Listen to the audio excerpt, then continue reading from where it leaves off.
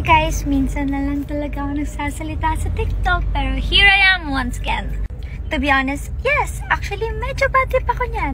Una, ang kulit kasi ni kuya na pwede po ba walang mask, walang mask.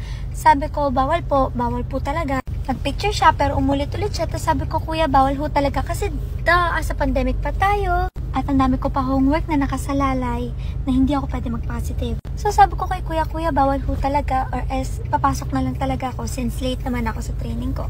Tapos paulit-ulit kasi ako tinatanong tungkol sa damit. Tapos kinukulit-ulit ako sa damit. Sabi ko, hindi ko ho pwede i-post yan kasi ho, H&M ako.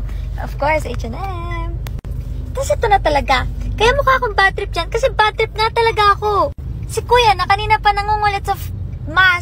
Biglang sabi, dali picture tayo, two joints, two joints. Sabi ko, hindi, Lenny ako. Walkout ako. Sama ba? Ha?